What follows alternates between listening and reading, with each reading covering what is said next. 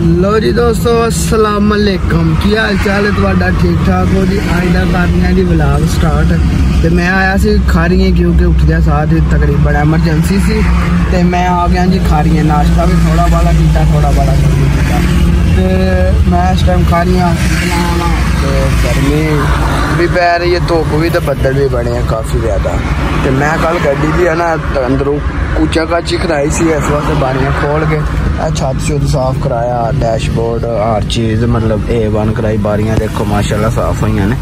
ਤੇ ਇਹਦੀ ਕੱਲ ਸਰਵਿਸ ਕਰਵਾਈ ਸੀ ਸਾਰੀ, ਤੇ ਮੈਂ ਕਿਹਾ ਚਲੋ ਅੱਜ ਦੋਸਤਾਂ ਨੂੰ ਦੱਸਿਆ ਜਾਏ ਕਿ ਗੱਡੀ ਦੀ ਲਸ਼ ਪਸ਼ ਕੰਡੀਸ਼ਨ ਹੋ ਗਈ ਹੈ।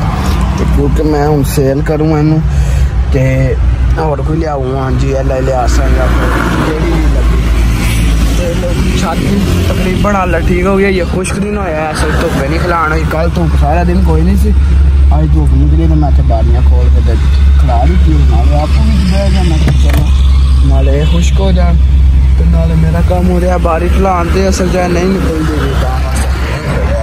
ਤੇ ਮੈਂ ਬਾਰੀ ਖੋਲ ਕੇ ਤੇ ਇਹਨਾਂ ਨੂੰ ਮੈਂ ਬਾਲ ਵਾ ਰਿਹਾ। ਤੇ ਛੱਤ ਨੂੰ ਵੀ ਤੂੰ ਸੇਕ ਪੈ ਹੀ ਲਿਆ ਕਿਉਂਕਿ ਪੈਣੀ ਨਹੀਂ ਜ਼ਾਹਿਰ ਗੱਲ ਹੈ, ਤੇ ਇਹ ਵੀ ਹੋ ਜਾਂਦਾ ਸਾਫ਼। چلے جی آئی تو بلاؤ آئی تو گھوم پھر کے بلاؤ بنانے جدھر جدھر جا سکتا آپ میرا ویٹ کرتا پہ وائی پاس سے کیونکہ ویڈیو شوٹ کرنی ہے تو اس واسطے نا ویٹ کرتا پہ میں جان کے لے ہونے ہیں ویڈیو بنانے ہیں۔ باقی کام بعد ٹھیک ہے؟ لو جی دوستو، میں کھا رہی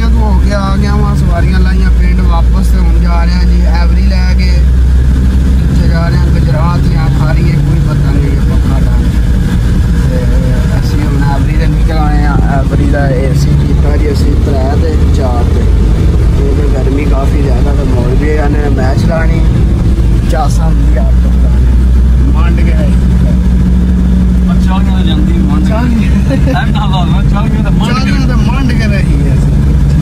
بڑے مزہ یار آٹو گڈی دا بڑا مزہ ہے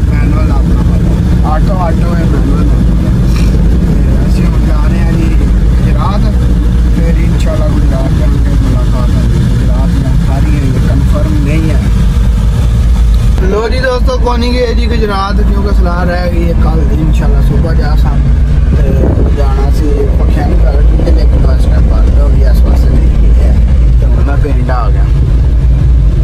ਅਸਲਾਮ ਅਲੈਕਮ ਜੀ ਦੋਸਤੋ, ਕੀ ਹਾਲ ਚਾਲ ਹੈ? ਠੀਕ ਠਾਕ ਹੋ? ਅੱਜ ਦਾ ਵਲੌਗ ਕਰਦੇ ਆ ਜੀ ਸਟਾਰਟ ਅੱਜ ਦਾ ਵਲੌਗ ਦਾ ਦੂਸਰਾ ਦਿਨ ਹੈ ਤੇ ਦੂਸਰਾ ਦਿਨ ਵੀ ਅਸੀਂ ਵਿੱਚ ਐਡ ਕਰ ਲਿਆ ਕਿਉਂਕਿ ਕੱਲ ਵਾਲਾ ਵਲੌਗ ਥੋੜਾ ਸ਼ਾਰਟ ਬਣਿਆ ਸੀ ਤੇ ਇਸ ਵਾਸਤੇ ਅੱਜ ਮੈਂ ਆਇਆ ਜੀ ਸਿਆਲਕੋਟ 에ਅਰਪੋਰਟ ਦੇ। ਸਿਆਲਕੋਟ ਇੰਟਰਨੈਸ਼ਨਲ ਜਿਹੜਾ 에ਅਰਪੋਰਟ ਹੈ, ਇਹ ਮੈਂ ਸਿਆਲਕੋਟ 에ਅਰਪੋਰਟ ਦੇ ਖਲਦੇ ਆ ਤੇ ਇਹ ਹੁਣੀ ਆਣ ਕੇ ਮਸਾ ਗੱਡੀ ਪਾਰਕਿੰਗ ਚ ਲਾਈ ਤੇ ਮੈਂ ਵਿੱਚ ਹੀ ਬਹਿ ਰਿਹਾ, ਗੱਡੀ ਦੇ ਏਸੀ ਲਾ ਕਿਉਂਕਿ ਬਾਹਰ ਗਰਮੀ ਹੈ।